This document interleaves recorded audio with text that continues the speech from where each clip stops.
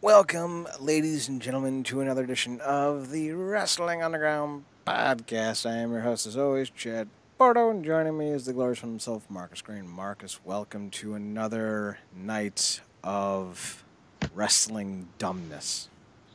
How are you? Good. This is going to be an interesting one for sure.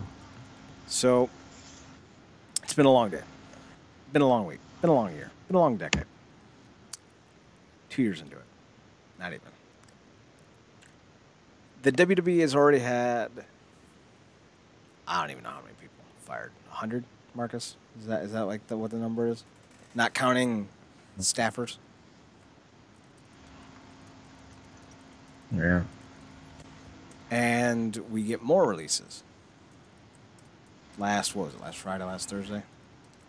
Again, after we were off the air, of course.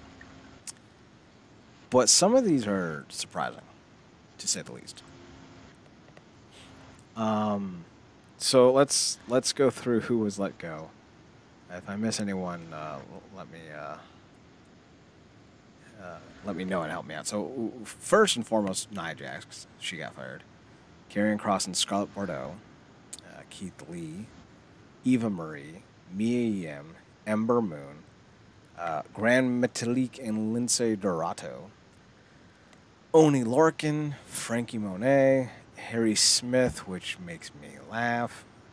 We also saw Trey Baxter, who is known as Blake Christian, get released uh, BFAB, Brianna Brandy. Oh, I didn't realize that was a female in that group. I thought it was the big dude. Jeet Rama, uh, Jessi Kamea, Zayda Ramier, and Catalina Garcia. Now, most of these names, Marcus, I don't, I don't fucking know. I don't know who Catalina Garcia is. But some of them are pretty big names. Are you at all surprised that some of these got uh, uh, ended up uh, getting 86th?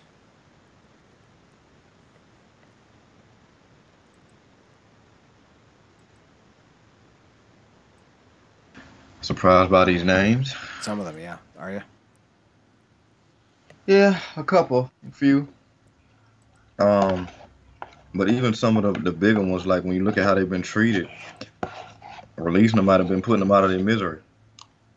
Um, probably for me, probably Jax, just because uh, WWE narrative when it comes to certain things. You don't release the Rock's family. it's just how it is. So let's let's go through these one by one because Nia Jax is obviously f- first and foremost. Um, there's a part of me that's happy she's gone. She's terrible. If we're looking at a person based on talent, fundamentals, marketability, charisma, character, she's terrible. Objectively, she's bad at her job. She's big, and they, I think the height of her usage was when they were doing the whole body positivity thing and, you know, um, trying to be uh, like, like very progressive and look, she's big, but she's beautiful, and yeah, and it didn't work. No one cared. Everyone was just Yeah. nah. Also, didn't help that she was in an angle where she was getting bullied by arguably one of the smallest women, if not the smallest woman on the main roster, in Alexa Bliss. Yeah, but No this real is sense to that. five nothing, if that. So, like, what, oh my God, your words hurt me so much, I can't do anything. No, just fucking run her over and be like, what? What? What'd you say?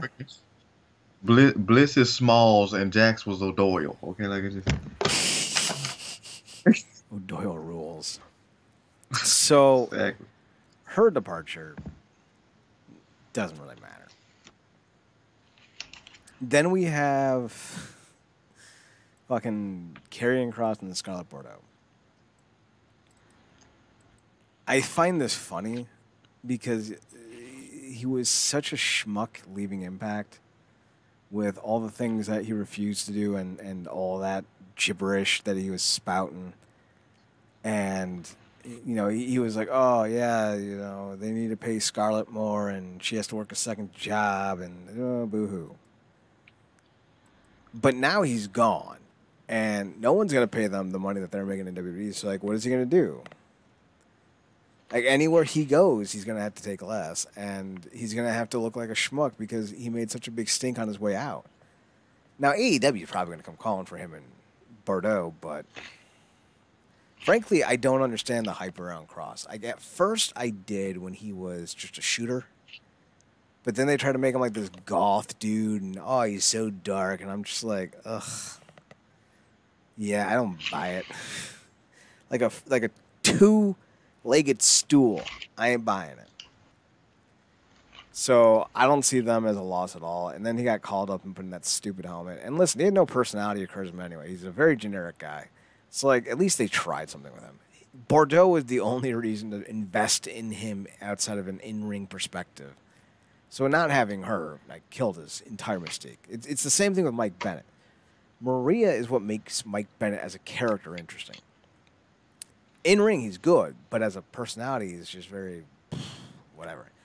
Same thing with, with, with Kross, at least in my opinion. Marcus Cross, you, what's your thought? Are you sad to see him go? Do you think he'll pop up in AEW or somewhere else, perhaps? Yeah, it's weird. Like I, I haven't really felt anything significant with Kross since his uh, time at Impact. He was doing his thing there, and then obviously that that exit was not the best. Um, um, I loved anything Scarlett related. Um, I think as most people do, but then obviously went to NXT. He had this over mystique about him that that went along. I mean, it was the whole thing: the music, the entrance, NXT has always been good with smoke and mirrors when it's come to entrances and, and certain character mystiques, and obviously a lot of that was his, was Scarlett, and then it's almost like somebody looked at him and, and wanted to prove a point, like this guy wouldn't be shit without her. hey, and then took her, and then just they main rostered him, and then you know he he basically died a death.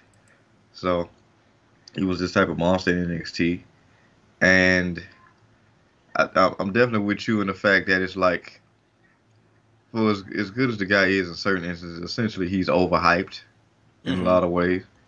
Because um, I don't think he's dynamic as as you know he is portrayed to be. And you, like I said, like you said, you take away that Scarlett element, and it's kind of like it's not like he's Samoa Joe old when he first came to Impact. So it's like I don't know, man. He got a certain look about him. He he he can do those Mr. Potato Head angry eyes. But other than that, I don't know, man. I don't know. Like I said, what they had him doing, they might have did him a favor in the long run. Yeah. I, I find it ironic that you go Mr. Potato Head because there's a part of me that thinks anyone who likes him or, or thinks that he's a um, charismatic individual, like, like if you do, that's fine. But part of me is, is going to think, man, you uncultured swine. hey, look, Ham. Oi. I'm Picasso. Ugh, I don't get it. You uncultured swine. that internet culture, Jed. All you had to do was appear to be badass. Well, that explains TikTok. Speak- uh, speaking of TikTok, TikTok, they tried to give Keith Lee a nickname, Bearcat. That didn't work. I don't know why anyone's surprised. Like, this is who the company is. They're they're garbage people, and they hire and fire people because they're gar- garbage people. Keith Lee is someone who I think kind of falls in that Karrion Kross camp of very talented in the ring, but I don't know what he has to offer outside of it. But a lot of people like uh, uh, Keith Lee. I don't understand necessarily the hype around it. Like I, I, have been trying to figure out for eight years why Keith Lee is seen as Keith Lee. Technician wise, great, good, good, in the, good in the ring. But like, what is Keith Lee's personality? Like, what makes him marketable? What makes him the thing you want to enjoy? I, I feel like he's got that wanna like you itis going uh, for himself, but I, I, I think there may be something more there, but I, I don't know. But in ring wise, he's a hell of a hand. But he's not exactly charismatic. Like you think of like Big E. Him and Biggie are similar in build, size, in ring style. But Big E has a very bombastic personality, while Keith Lee is very calm and, and I don't want to say quiet, but there's a almost reserved nature about his his presence. He's not very in your face. He's not very flashy, and I feel like part of the thing with Keith Lee is that WWE saw that and they didn't see too much potential in him, and I don't disagree with that to an extent. Like same thing with Karrion. Like I don't know what beyond the oh he bad do you have with him? And I feel like with, with Keith Lee, there's a similar situation there. But also, on the other hand, you need a bolstered roster, right? You need guys like Kross and Keith Lee, guys who can work, guys who can wrestle, guys who can appeal to a specific demographic. Because like I don't know who Karrion was was was targeted towards, but uh, people like them for a reason. I don't know. So to let all these guys go from your main roster when you need time to fill is quizzical, to say the least. Marcus, I I, I don't want to assume, but I, I, I, I will. I think you're a big Keith Lee guy, or at the very least, you're a moderate Keith Lee guy. Does this release shock you the most? Yeah, no. Um, I think yeah, because essentially they they repackaged him again, and also we had heard what he'd gone through personally. Um, and then thankfully he got past that because he could have lost his life. Mm-hmm. Um, but when he first came, it was interesting. When he first came through coming through NXT, I didn't get. He had a lot of hype around him from the indie scene. When I first saw him, I mean, obviously he has the size and the look, and then just that big man that's about him. But I didn't really see any appeal. And the irony is, I think he almost was damn near let go because he really wasn't catching on the way that he needed to. And then something switched, and I, I think something about his aura changed. He got a little bit more bravado about his skill set and just the the big guy that he was, and then things started to move, and then eventually that climax to him being the first ever NXT champion, along with the North American Championship, and then he had that run with Roman, and then with Brock, and that whole deal, and then he, you know, had to drop the belts and ran into the wall that is the main roster, and it's just it was all downhill from there, back and forth. Um, he had a big win against Orton, but at this point, I mean, that only mattered for that moment, and then nobody probably even remembers he beat Orton at this point. So the start and stop stuff, the changing his look, changing his music unnecessarily, yet another person who got main roster to death.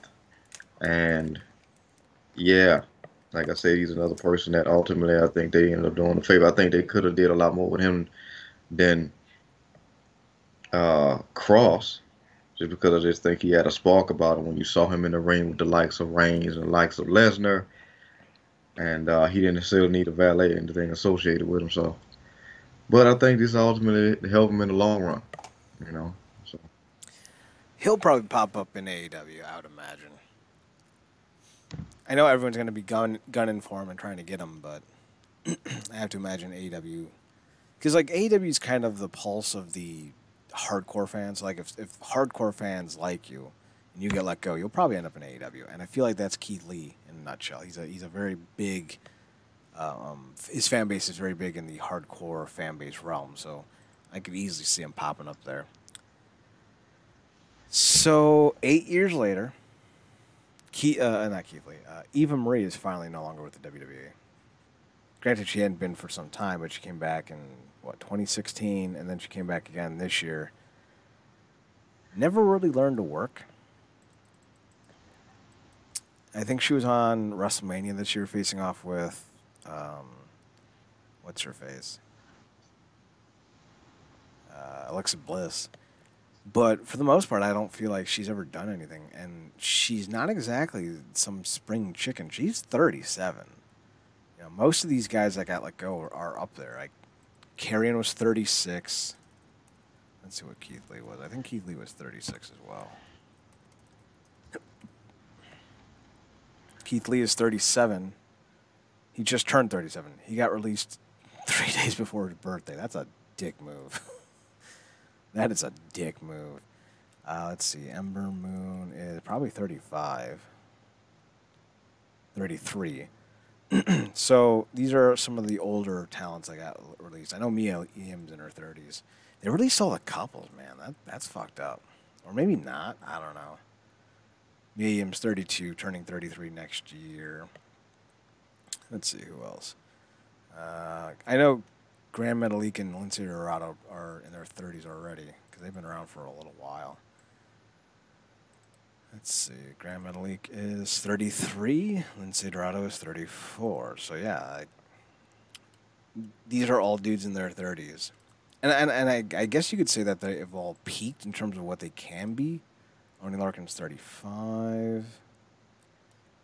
He'll turn 36 this year. Franky Monet is 38. Davy Boy, I think, is Dave Boy Jr. I think is uh, 37. Let me see.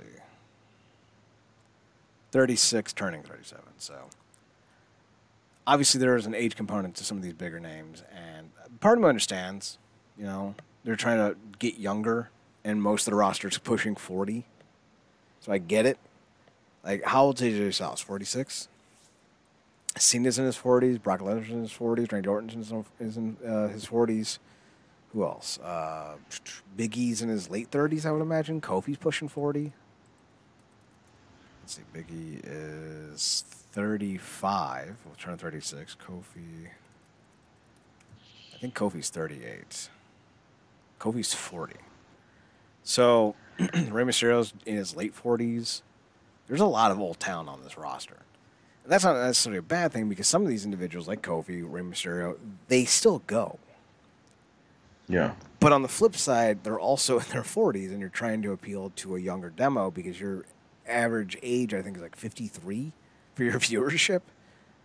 So that tells you exactly who's watching your product. And it ain't it ain't the youth of tomorrow. And you want that youth factor. You want the, the TikTok generation.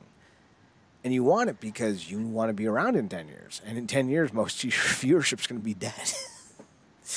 so, like, you know, you need to get younger. And Eva Marie being 37, I think, is kind of an indicative indictment on this company and their inability to create new stars. You know, she's not even a star, and they had to go back to that well. So it's fascinating to me to see that they are, are basically adjusting their prerogative in talent midstream, essentially. And I think that's interesting because we're watching it in real time a youth kind of uh, takeover, if you will, coming into the product right now.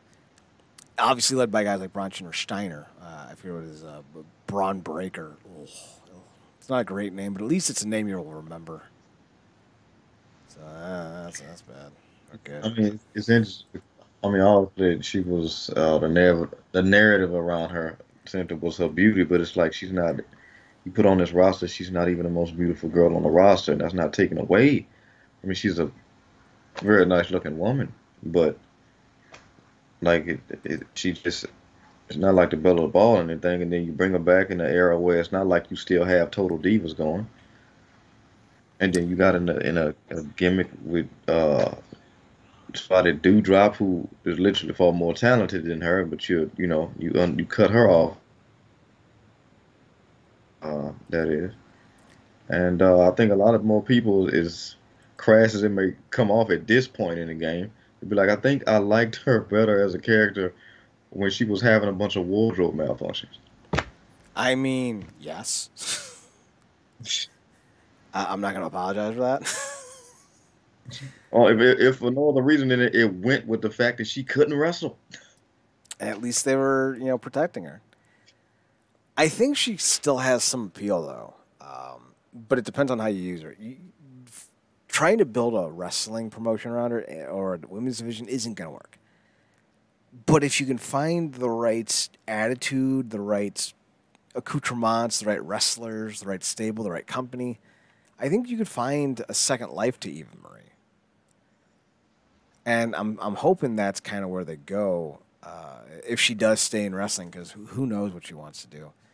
I, I think seeing her kind of land in another company might give her the best opportunity to show what she is capable of doing, because we don't really know truthfully. Like the way they the WWE did her, you you really can't say anything good about it. Um, granted, I don't know how, how serious she ever was about her craft, but you know, she was serious enough to get a second look by the company, so maybe. Um, Scarlett Bordeaux. Yeah, I mean, you is- know. Oh, sorry, go on. No, I was saying real quick because we we saw what happened with Maria with Impact, Mm-hmm. or just in general. But but that also is she knew what it was. She knew what her you know. Um, I'm not gonna say her lane because that just bad verbiage. But she knew pros and cons were, and she always you know stuck heavy to her pros, and that that's her you know her presence, her look, her mic skills the whole character around. Like she had a like a year and a half long beef with Gail Kim, and she never touched him. and it was it was some captivating TV. So I don't know if, but also Maria wasn't necessarily looking to prove nothing in the ring either, because she knew that just wasn't a thing. I don't know if something could be said about Eva, who I think may have very well got treated in that that old divas fashion of, okay, you look this good, we're gonna throw you in there with the with the wolves and just get in where you fit in. And I think she maybe wanted to come back and prove something wrestling wise, and they just put in a situation where she was annoying from a character perspective. And by the time she did get in the ring, nobody cared anyway. So I do believe, just like we've seen Maria and others, that she can find a spot, but not in WWE. That's just not. It's not gonna work. No, no, it's not. I do think there's an opportunity for people like Scarlett, not Scarlett, um, Eva Marie, but it all depends on who picks her up Yeah. and how they intend on using her. As for Scarlett, n- similar boat, but more authentic to the wrestling fandom because she's been with pro wrestling since Ring of Honor in 2011, 2012. She was trained by Jimmy Jacobs. She's not a great worker by any means. She's not very athletic, but she's tenured. Like people see her and they're like, "Yeah, she's one of ours." Like while Eva Marie was a fitness model turned um, uh, reality show model turned pro wrestler, so she had that Miz factor about her, where people saw her as an outsider. Scarlett doesn't have the same dogma against her. She doesn't have the same rhetoric against her. Uh, but I still don't think that Scarlett's going to come in and be a great wrestler for whoever signs her. So you got to find other ways of using her and promoting her. Uh, but Impact has kind of given you the template on how to do that, and I think you know in that regard they're going to be fine. That said, I don't see long-term appeal about this. So you're going to have to find the right way to use her so she can have a longer shelf life because just being the hot one isn't enough. Eventually, there's going to be someone younger, someone who's holding up better, and you're going to lose that hot one mystique. But if you can find a way to be a great character, one that Yeah. isn't reliant on sexuality, not that there's anything wrong with that, but you have to be more than just one note to survive in wrestling. If she can find that character that, that propels her forward, she could be like the next sensational Sherri. So it's important that she finds that that next niche. But I, I don't know if, if, if staying with Karrion is, is the way to do it. She Yeah, and I, I get the served appeal on her you are. Yeah, and I, I get. I mean, it's cool to see so many couples in wrestling actually getting a chance to work together. Um, I mean, I think a different conversation could be had on a different day about the varying degrees of success that's worked for those individual couples. But um, yeah, I think I think one thing that Scarlett has is a presence about herself. Um, obviously, she's stunning, but like you said, there's always somebody. Um, what, what's the old saying for a lot of people? Like such and such and such and such. There's a hottie graduating college right now. Like people uh talk about dating, dating older and younger and whatnot. And I think with her, obviously the smoke show thing, I think that's something very easy for her to do. Um, but obviously we did see her do some intergender stuff in Impact, and that was serviceable for what that was. Um, in the interim, but I, I would if she went back to Impact, which I doubt, because like I said, the, the whole like you said, the, the Karen fall, I don't know how that would work, but we've seen stranger things happen. I wouldn't want to see her going for the media title against Jordynne Grace. That's a mismatch.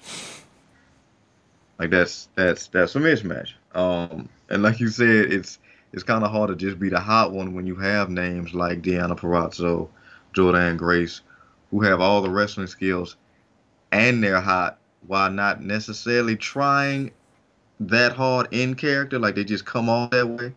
Like Mhm. do it like Jordynne Grace is just thick, and then obviously anybody that endeavors to anything she's doing offline can, you know, obviously. But Deonna has that, um, and a lot of other performers. So I don't know what would be her niche individually. I think she could find it, but I, I don't know if she necessarily wants to be separated from from Kross. You know. Yeah. So. And, and and that's fair. You know, when you're with someone, it's never good for a relationship to be away from them. so I, I, I completely Yeah. get that. Um, but you can build one hell of a women's division with the talent they released. Now I don't know too much about BFAB as far as what she can do in the ring, but Ember Moon, Taya Valkyrie, Scarlett Bordeaux, uh, Mia Yim. I'm, I'm not gonna say Naya. No, never. but like you can, you can start building a great foundation of a women's division, or if you're someone like Impact who already has a strong women's division, those three or four talents could come in and really give you a different perspective. So, by the by, Yeah. I really enjoyed the uh, the inspiration stuff this week on Impact. Did you see it? No, I gotta I gotta catch up on that. Uh, I really got yeah. Post BFG, I got the two shows to catch up on, They, but uh, I'm uh, definitely looking forward. to The They- inspiration. they they they ran into uh, Rosemary and Havok, and Mm. they spend the like all their segments trying to figure out the best way to deal with these ghosts. And I, I, I don't know their names. Like, like I'm I'm bad with names, but the uh, uh, I don't know how, how, how best to describe this. Um, the more slender of the two, she's like seeing all the Gotcha. ghosts and shit, and the other one's like, "Oh no, no, like you're, like, you're crazy. This isn't happening." And then she starts to see him. Like, "All right, well, where do we go to find ways to deal with ghosts?" And they and um, uh, Mackenzie, not Mackenzie, uh, but the the ring announcer girl, the uh, backstage uh, interviewer girl. She's like, uh, you can find the undead uh, bridesmaids, uh, and they're like, well, where do we find them? Uh, in the darkest parts of the building. And the one's like, ah, I don't know about going to the darkest part of the building. That seems like a bad idea. and it was just very fun. And like, this is where they they shine. They're very charismatic. Oh yeah, because they they the perfect, and even if you don't like them as characters and certainly as performers, I understand. But they are the perfect um offset to the decay stuff. Mm-hmm. They got one hundred percent playing to the dumb, you know, did say, oh my god, like oh my god, what is this, Carol? Like that that whole deal. And I love how Impact always in some form of, of actual logic plays back into the whole undead realm stuff. Like they always find a way to bring the Su Yung stuff into it. They always always find a way to, to, to hilariously but logically and some for as logical as you can get with it, bring back in Father Mitchell. Um because they either need to turn somebody's darkness up or bring somebody back from the dead. Or make a deal. Got a lot of those deals with Father Mitchell. And uh yeah, I mean uh, you know, they're the perfect perfect fours for it. It's only a matter of time before they run into the swing man, which we're all waiting for. So Oh, that's gonna be great. I can't wait for that. All right, let's see. Uh, speaking of can't wait, Mia Yim. I think she's one of the few names that you can pretty much bookmark for a return to Impact. Her run in NXT has been bad. Um, part of the issue is like everyone's like, well, she, she's a really good worker, and, and you know she's always fun to watch. And yeah, fair, but you got to understand that a pro wrestler has to treat their career like a musician treats their albums if you don't have hits and and and things that bring people back, then then you don't have anything. Like Bret Hart had how many great feuds?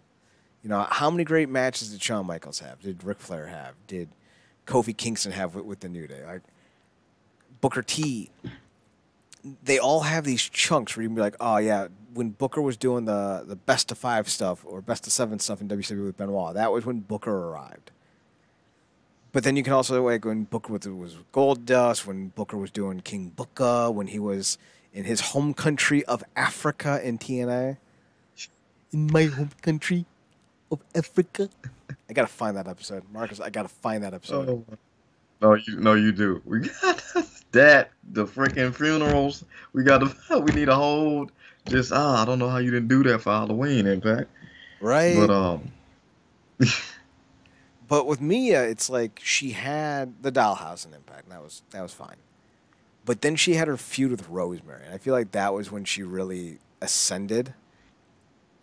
Yeah. And then she goes to NXT, and I can't name one great feud she had. And it's not because she's not talented. Mia Yim's one of the best workers in the world. yeah. So how she ended up going, and this isn't just me, like by any means.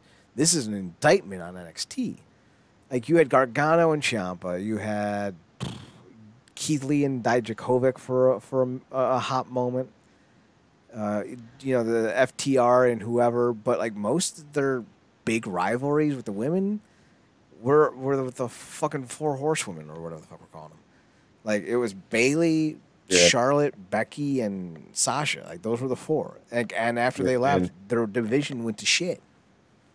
And then I mean they, they basically profited on the back of Asuka with her undefeated streak down Mhm. there. Yep, Asuka had a So great so run. she yeah, she had to she retired the belt. Um, but yeah, after that it was kind of kind of up and down, and and, it- and it's funny because people like Mia Yim, Bianca Belair, um, I think. Because I mean, I, I think we talked about, but Ember Moon, who's a, a big favorite of mine, Ours. they and I Excuse think she, uh, big favorite of mine. Uh, Ours, excuse you. oh look, ours. Oh, I didn't know. Okay, that. Well, we meet again, friend. We we meet again. She she's uh, definitely a friendship ender. I'll tell you that much. for, for for those that don't know, a friendship ender is someone that you're willing to end a friendship over. and granted, she already I think Yeah, we- she's married. Yeah, we, and we've named a, we've named a s- a couple friendship members over the years. Yes. Uh, and I can't wait to get the Army of Thieves just so I can watch Nathalie Emmanuel for however long that movie goes. Uh, Oh, God, no, yeah. Like she's the only reason I'll ever watch a Fast and the Furious movie. Ever. Although but, um, um, Batista's daughter in that, um, I forget her name, Ella Purnell, I think. She she she's, she she and Nathalie uh, Emmanuel are like, mm-hmm, yes please, yes please. I, Oh, I'm wow. very eclectic. Gotcha, gotcha. That It's those that now that eyes. that makes sense. It's eyes, man. Oh my god. Yeah, but she, she's she's perfect. I mean, I'm thinking about it now. That would be such a great feud between a Mia Yim and a and a Ember Moon because they're you know they're not the biggest, but they you know they can go in any scenario. And not to just pigeonhole her what she did in Impact, but to see her go from that dollhouse to evolve to evolving in Jade, and she had like an all time feud in the Knockouts division with Rosemary. Mm-hmm. she like you said it wasn't a talent thing with NXT she just she fell into that group like I said with the Biancas and the and the Ember Moon. So I think was NXT Women's Champion at a point but um, I think when she came back after that atrocious run she had on the main roster where she almost had a career ending injury running running after the damn 24/7 title um, she came back and reinvented herself and I thought this would have been a great avenue to put the belt back on her, but they they did a lot of bridesmaids, but no bride briding with her, kind Mhm. of like they did with Becky. She's the only one of the four horsewomen. It's weird. She it feels like she had the least amount of success in NXT of them, but had but has had the most well, right under Charlotte on the main roster. I think you could Um, argue that? Becky's had the most success financially. Yeah, So, Ember Moon held the belt for 140 days, and she lost to Shayna Baszler. Shayna Baszler. Oh, yeah, there, there, there it is. Yeah. But- which, which is not bad.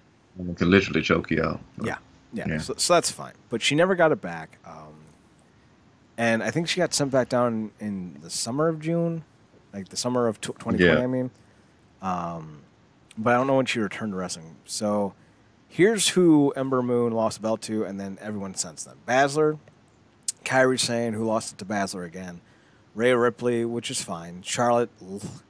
Io Shirai, who held it for 304 days, and I like Io Shirai. She's very talented. But can I just say this, and maybe you'll agree, but talk about the most wasted title run ever. She held the belt for 304 days, and I cannot name one match that even popped up. It, even Baszler's first run or and second run had at least two or three matches that were like, all right, yeah, because Basler had a great match with um, Bianca Belair, if I remember correctly. Yeah. And it was like a like Belair was like, all right, listen, you were in MMA, that's dope, but like I'm gonna throw some forearms and you're gonna taste some nastiness, and that's exactly what you did. I was like, that's impressive.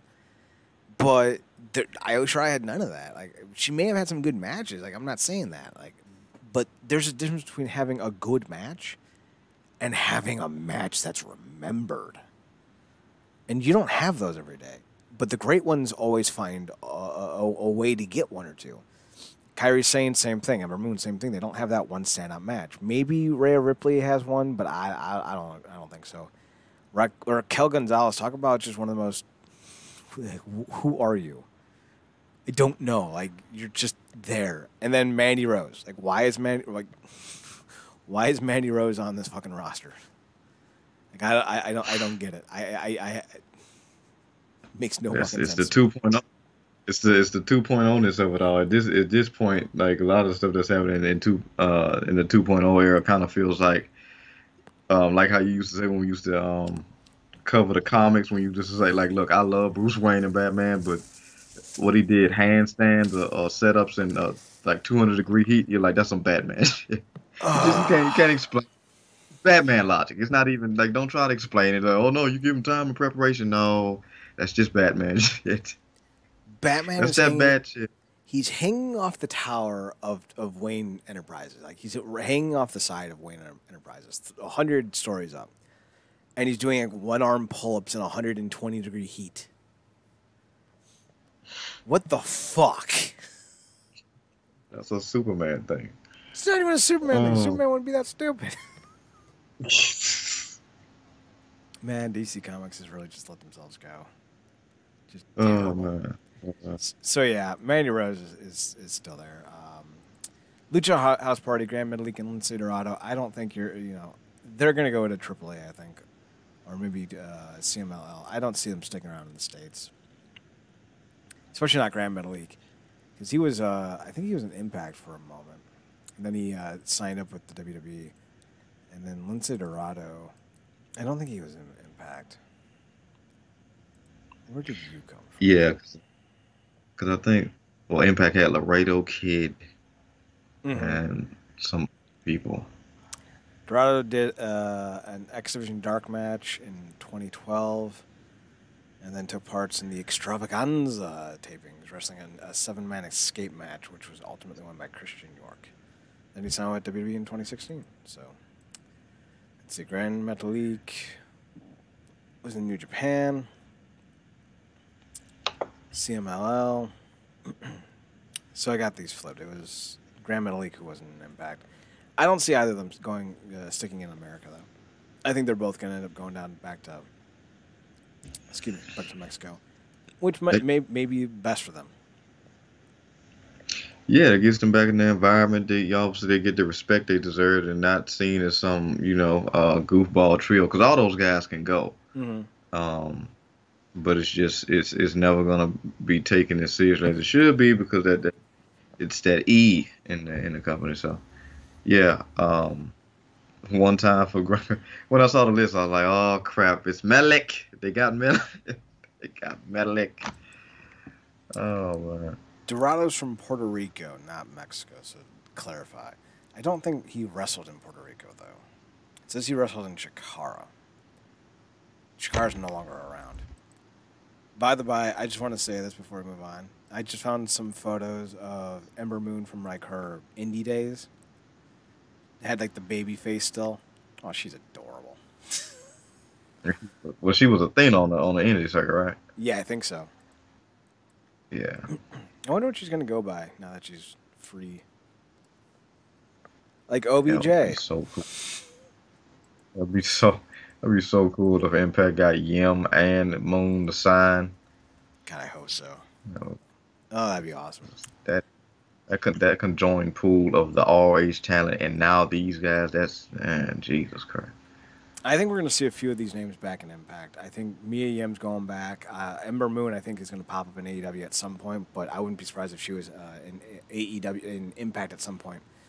Um, and then Oney Lorcan is next. I don't see him going. I think he's going to end up in New Japan. Um, probably uh, the uh, Strong, which is the U.S. arm. I could see Oney Lorcan there. Uh, Lorcan to me is, is another guy, great in ring worker, no personality. Um, in, in, in the right yeah. facet though, like that can work. But when you have so mm. many of that type, it's like yeah. you don't you don't want a thousand Dalton Castles who's all flamboyant and all you know pomp and circumstance, but you also don't want a thousand Bret Harts either. You need to have a mix. So yeah, I, I feel like yeah, Biff is is in NXT. He was among so many of his ilk because he had Tommaso Ciampa, T- uh, Johnny Gargano, Pete Dunne. He had so many guys who were just like him. And you can't send out like that. Yeah, and I, and I think I think putting him with Danny Burch was a stroke of brilliance because they both have similar looks, similar styles, and they they are consummate workers. Um, and you put them together and made a hell of a tag team. And certainly, if you weren't gonna have them eventually be champions, they always they together they kind of stood like as the tag team version of Ishii. Mm-hmm. Was like, oh, I got to go. Not today. I'm not. I'm not in the mood for no Ishii. And it's today. I just want an easy match, quick win, La, La, La Magistral. There ain't gonna be no La Magistral days with Ishii and, and guys like Danny Burch and, and uh, like you said, Biff Busick. So um, yeah, I think they'll be you know perfectly fit in, New Japan and stuff like that. Like guys like him, you know, you put in in situations like the G1 or the um, other tournaments like that. Next up, we have Franky Monet, the former Taya Valkyrie. She's another one. Like uh, Oney Lorcan's 35, Franky Monet is 38. Uh, so again, they, they fall in the trend of WWE getting rid of the older stars. Here's the thing with Franky Monet. Um, if we're talking about you know, Taya in 2012, 2013, 2014, when she joined Lucha Underground, she was very svelte. She had a very different wrestling style then. She was a lot more in the lucha libre style. Uh, you know, bigger bumps, a, a lot of like um, hip tosses and, and uh, arm drags and all that stuff, which is it doesn't look high velocity or high impact, but for the person taking it, it is like as we always say, Mark, especially you. There's only so many bumps on one bump card. Mm-hmm. So, so, it's not a style that's conducive. It's it's one of the reasons why a lot of Mexican wrestlers start in that style, but then transition into more of an American pro wrestling style. Like, look at Blue Demon. When he was in Lucha Underground, he wasn't wrestling that way. Mil uh, uh, Muertes, he wasn't wrestling that way. But they all start that way, or at least that's kind of like, like the idea is like so many of them start that way. But looking at Taya Valkyrie, when she came into Impact, she put on forty or fifty pounds of muscle you know, she started powerlifting and she changed her style up completely. She's nowhere near as athletic as she once was, but she's fallen into a new pattern or a new kind of mindset that has allowed her to extend her career past the point of, of limitations on, on athleticism. So even though she's no longer the same athletic individual, she's still a very good worker because she adapted, which is what you should do. Everyone does. Look at Sting. Sting Absolutely. was high high impact, high velocity for a lot of years, and then when he goes crow, he becomes more methodical. He slows down, but he yeah. makes his punches look more aggressive. He looks makes the slams look more ferocious. So when he does do a top rope dive at some point, it, it seems to have more impact, and that's something uh, uh, Taya Valkyrie has done. Yeah. So where yeah, she goes, no, no, I'm sorry, go on. No, I'm saying he has a better Hulk up than Hulk Hogan. That's for damn sure. So seeing Ty Valkyrie, yeah, she's 38, but she doesn't wrestle like it. She wrestles like she's 28. So I don't see her being a, a bad investment for another company. Now AEW might come calling for her. Who knows? She may be interested in that. But I really think that with Impact's knockouts division, as it stands right now, with Mickie James in there, Mercedes Martinez. I think you can bring back Taya Valkyrie in any number of role. Like she's the perfect. Like I don't, Marcus. Did you ever play NCAA football, college football uh, uh, on like PlayStation or something like that? Yeah. Do you remember like when you were recruiting guys, you would always have that class of guys called the athlete, and you can change yeah. their position. That's what I feel mm-hmm. like Taya Valkyrie is. She can be quarterback, running back, receiver, corner, safety. She can come in yeah. and be the mean girl. She can come in and be the power girl. She can come in and be the, the ice queen. She, she is so good Yeah. at playing a character that she's limitless. And I feel like bringing her in as a personality is tantamount to landing a, a, a number one overall draft pick, signing Drew Yeah. Brees for, for, for you Saints fans. So I would like to see her back in Okay. Because she can fit in any other way. Man, I'm I'm right there with. Look, man, Ro, uh, Ty, if you're hearing this, please come back and, and rescue Rosemary from Havok, please. Please, y'all got y'all had like I didn't necessarily click with her as much when she was doing the whole Hollywood um dog, you know, dog on the invisible, well, invisible dog on a leash thing. But then they brought Bravo in that, and I thought they had an entertaining back and forth. But then they evolved it, and her and Rosemary clashed, and then they came together. I'm like, this is this tag team is brilliant. And then just when I feel like they was getting some real momentum, she obviously but they could always work like the fact that she was the one that was because it was revealed that what they framed her for Bravo's thing, but it was Rosemary. Yeah, because she was trying to steal his virginity. Yes, yes, and then they had the the guy from Double XL mixed up in that whole thing. That was hilarious. But uh, back in then, like you said, she could obviously come back looking for the Impact title because of it, uh, knockout title because everything that Deonna's been doing and seeing Mickie James and getting that do that whole thing, or she could rescue Rosemary from freaking Havok. Like like you said, she's an all-purpose player, and to see her evolve from like you said, like there were points in Lucha Underground, like she was stealing scenes from Dario Cueto in those office uh, scenes. Cause I mean I, I don't even want to explain it. Just go back and watch it. Um, Just not like the first 20 But the- episodes. Skip that. like just go back and watch those scenes and that all like she was a whole different character different demeanor like you said she was uh smaller had a whole different kind of swag but seeing the evolution of her i think has been brilliant and again all the great ones change their style according to where they are Mm-hmm. and you miss james uh so yeah I, I hope you know we get specifically names like her I don't have to call her Jade. I, I think Jade would be cool as somebody to come back, with. I mean Mia Yim's fine, so I'm hoping that's how it goes. But yeah, that definitely Ty could come back. Um, even really as an either gimmick, the War Queen, like you said, which I thought was brilliant when she first came um, there, or like you said, the the because Bravo still the, well Swinger Palace is dead. Well, you also have the, the inspiration and Emma, or not Emma, what's her name? Um, Tennille Dashwood. You have Kaleb with a K. Like J- uh, Johnny Bravo's still there. Johnny Swinger's there. Like there's a lot of guys and gals there that kind of fit in that modern social media type. So like her Yeah. coming back in as the character she was when she left makes utmost sense. You have so many like-minded personalities. It's like you know having a, a teen sitcom drama uh, uh, with um, Riverdale, and you're like, oh well, we can get Luke Perry. Luke Perry fits perfectly in this genre because he made his name in in this genre. You know, same thing with uh, Molly Ringwald. It's like, yeah, these make absolute sense to bring in because they have history in this genre. Same thing with Taya. She has history in this style of gimmick. On the flip side of things, if you feel you have too much of that gimmick, she's proven to be very versatile. So you can do something with Rosemary. You can do something completely different. And I feel like it would work. And I feel like that's like one of the reasons why EC3 has failed because he didn't really get to you know do his whole EC3 thing to the degree in which he probably deserved to do it in Impact. And now he's trying to do the narrative and no one gives a shit. But with Taya, I feel like if she did something uh, old again, if she went a little bit older than old, if she went new completely, I feel like all of it would work because she has proven herself to be very versatile. So here's hoping. So this one is, is the most heartbreaking. Uh, Davey Boy Smith Jr. left MLW to join WWE.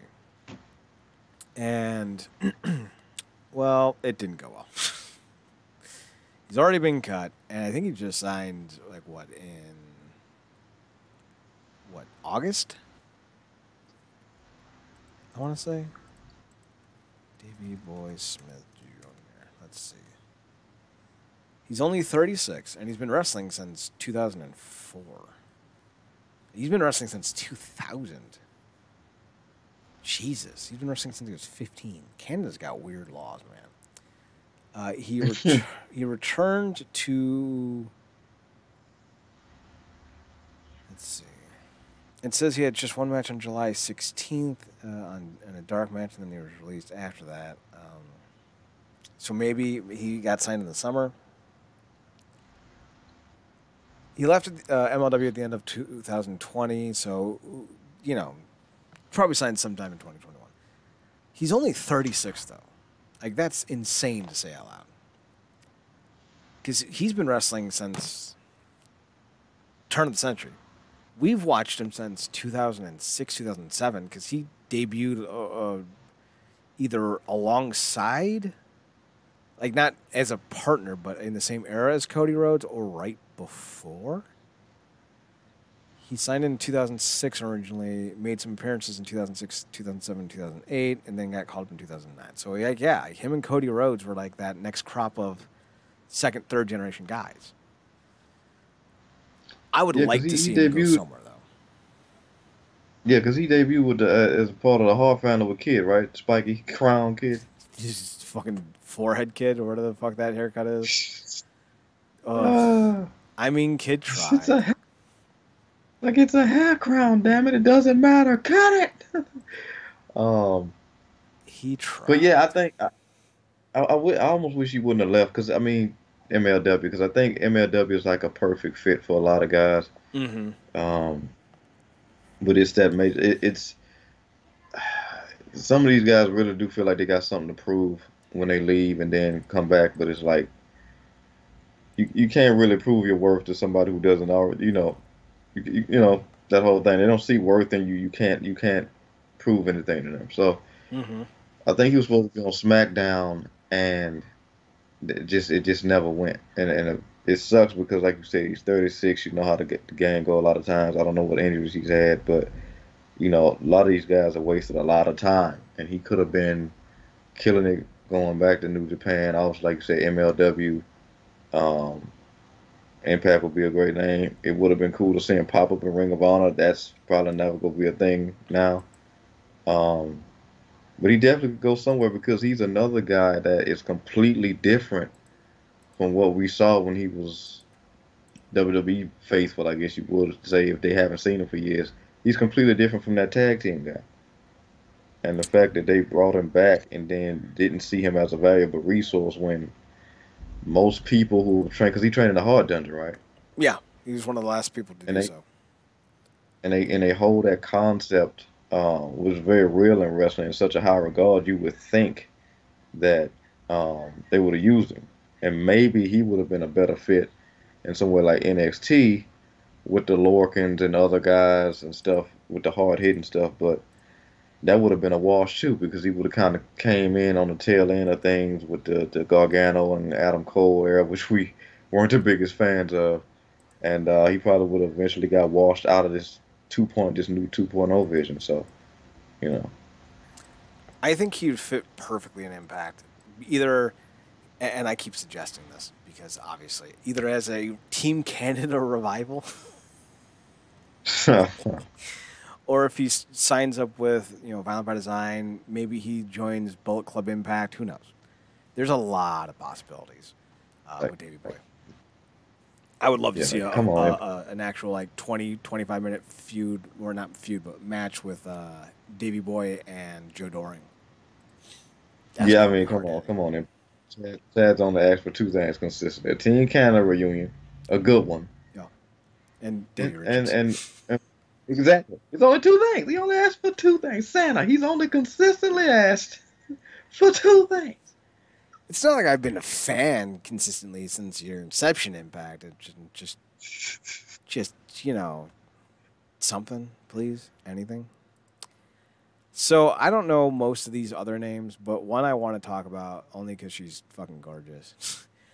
um, Catalina Garcia, aka Katrina Cortez. Uh, I, I don't know if she's always been a masked luchador because apparently she was with Sin Cara at one moment. And when the fuck was Sin Cara still in that company. Probably the last set of uh, releases in 2020, because uh, he, he, got released not that long ago. I had to imagine. The real one or, or Negro? Marcus. You can't say that wasn't word. Me. It was Booker. He told me to say it. Booker gave you okay. Booker gave you a Negro card pass. he gave me the pass. uh, no, Negro, yeah. Um, that's who I'm talking about. Uh, what was his name? Hum, uh, not Humberto. Um, he he was with uh, Camacho. Did you say anarchy? anarchy. uh, no, um, he he was with uh, Tama Tonga. No, Tonga Loa. I'm sorry. When Tonga Loa was with WWE, um, that that's Sin Cara. I forget his name. It's it's dumb. I'm sure. Hang on. Let's see. Sin Cara Negro. Uh, talk about the dead feud. Hunico. That that's what it was. Hunico. Yeah, dead, dead. Wow, she really has a, and I hate to bring her name up, but she got that sexy star vibe where it's like something tells me that that face is gorgeous under that mask. Ah, it's gorgeous. It's oh. gorgeous. And she does a smirk. I don't know what it is about smirks, but oh no. Gets to see a little dimple and she's all like, mm, pouty face, like, mm, okay. So I don't know if she's a masked wrestler, generally speaking, because I, I, see stuff with her both wearing and not wearing a mask, uh, both on the indies and not on the indies. So like maybe, um, but yeah, I don't know anything about her outside of her brief run in WWE, and I would love to see a lot more of her. She she she's definitely someone I hope Impact picks up. So, who knows? Hopefully, maybe it happens. Who's Rita Rice? Apparently, the Mercedes Martinez, Catarina Cortez, and Rita Rice were a thing. Rita Race, Race, Race. I feel like some of these names. I'm like, what? Some of these names, a lot of the names that they were hoarding in that in that performance center that we talked about so many times. Mm-hmm. Because I had never heard a lot of these names. Yeah, I the rest of the names I have no idea about, so like we're not gonna put too much emphasis on this. But yeah, it's not great this is what happens when you sign 300 people to a roster for 20 minutes worth of content. like, what are you doing? What are you doing? Okay, Marcus. Let's let's wrap the show up because we've already been on for an hour, and I knew this would happen. One final thing to talk about: Sinclair.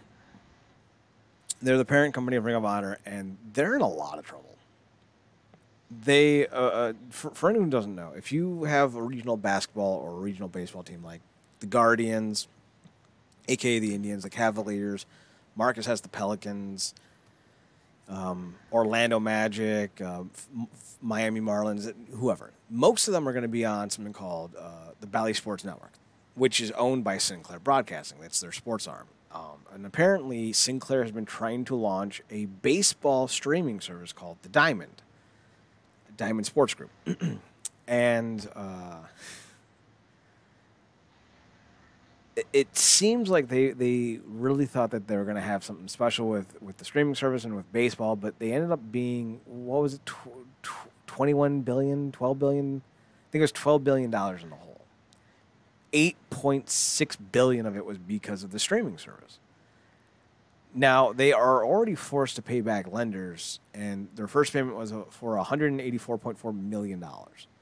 So the streaming service is, is not dead, but it's in limbo. They're now already paying back lenders who, who've invested in the streaming service. So the streaming service isn't making them any money.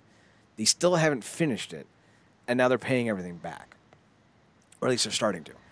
And this is in part why Ring of Honor ended up having the issues that they had, where they ended up letting go you know so many of the individuals under their their contracts. This isn't a good thing at all. Marcus, knowing what we know now about how bad off Sinclair Broadcasting is, what do you think Ring of Honor's future is? Do you think they're going to get sold? Um, finding out this new information uh, about their financial crater that they're in right now. Um, it's likely. Um,